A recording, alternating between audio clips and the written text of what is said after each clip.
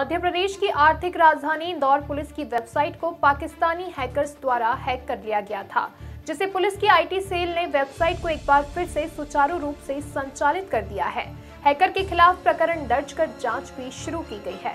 Indore police द्वारा संचालित की जाने वाली वेबसाइट को पाकिस्तानी हैकर्स ने हैक कर पाकिस्तान से जुड़े जिंदाबाद व अन्य शब्द लिख दिए थे। जिसके बाद शहर सहित प्रदेश की पुलिस में हड़कंप मच गया था। सूचना मिलते ही अधिकारियों द्वारा आईटी सेल के अधिकारियों को त्वरित कार्रवाई करने के निर्देश दिए गए थे। बदमाश पाकिस्तानी हैकर के खिलाफ प्रकरण भी दर्ज किया गया और उन्हीं साक्ष्यों के आधार पर अब जाँच आगे बढ़ाई जा रही है।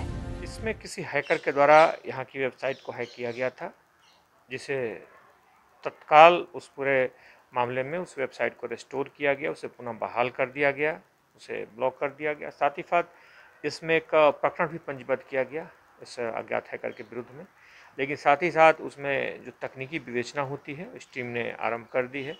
इसमें उसके आईपी एड्रेस पुलिस के पास आ चुके हैं, जिसके माध्यम से वो अपलोड की गई है। साथ ही साथ आगे की तकनीकी विवेचना में उसमें जो जानकारियाँ आएँगी, उस व्यक्ति की जो पहचान सुनिश्चित होगी, उसके आधार पर उसमें कार्रवाई तय की जाएगी और उसमें कड़ी कार्रवाई की जाएगी।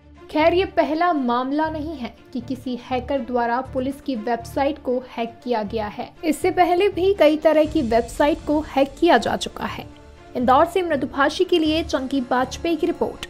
मृदुभाषी से जुड़ने के लिए वीडियो को लाइक, शेयर और सब्सक्राइब करें। खबरों के नोटिफिकेशन के लिए बेल आइकन दबाना ना भूलें।